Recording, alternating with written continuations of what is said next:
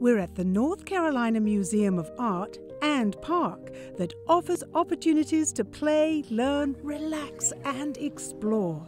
They are mostly accessible and free for everyone to enjoy. The experience is very different for people with disabilities.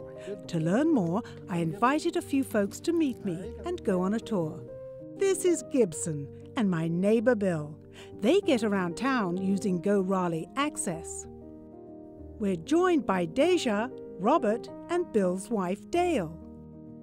Museums provide many kinds of services and accommodations that you may want to use, such as time tickets displaying on your phone. At the North Carolina Museum of Art, we work to make our buildings and our programs fully accessible for all. We provide Americans with Disabilities Act accommodations. We also offer audio description and American Sign Language tours and for other programs as well. And we always have sanitized wheelchairs and walkers that you're able to check out. You can always check our website or feel free to give us a call and we can tell you what's available. The docent guided tours help navigate the museum's open spaces, and thoughtful placement of art and signage make the words accessible for everyone. When it comes to the placement of the wording, I prefer to be in the, either the bottom or the middle of the piece of art so I can read what's going on with the, with the exhibit. In that case, I can experience the museum just like everyone else knowing what I'm reading and what I'm seeing. Gibson has been trained to get me from point to point safely. I set the uh, direction and Gibson makes sure I get there safely, avoiding obstacles and any other hazards like automobiles.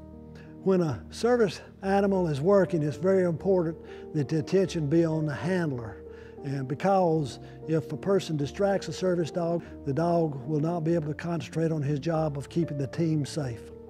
To make the museum and park accessible for all, the museum contracts with the experts at Arts Access. Arts Access is a North Carolina nonprofit that works to make arts and cultural events and venues accessible to people with disabilities.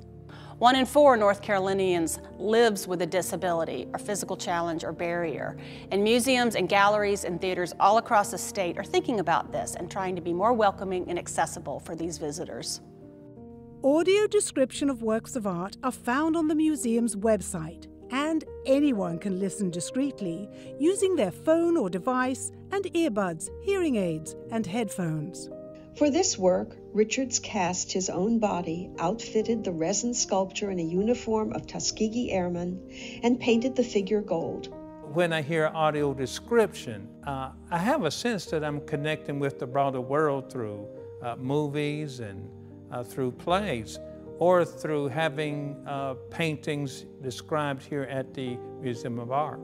What it does for me is help me to participate in the world of art just like anyone else. And so when I touch a, a uh, sculpture, my hands become my eyes so I can actually feel the sculpture.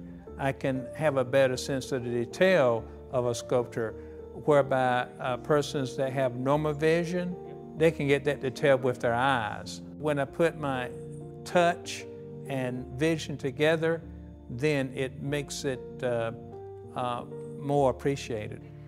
The paths and outdoor entertainment areas are carefully planned and take mobility into account okay. to make everything accessible as possible. Well, I go a lot of places as a wheelchair user, and a lot of places aren't handicap accessible or accessible for many venues and places. So when you come to a space that actually is accessible, it's actually really good. So, but it's important because we're a paying customer like everyone else. So we bought the same ticket, we want to experience the same scene. Well, I help encourage uh, persons who are disabled to get out here in the world and, and experience the world within yourself and experience the broader world through art. It's beautiful. And I love for more of them to have the beautiful experience of art. Arts Access provides a statewide platform relating to arts and disability. To find out more, visit artsaccess.org. The North Carolina Lions provide information and assistance to the visually impaired. Find out more at nclionsinc.org.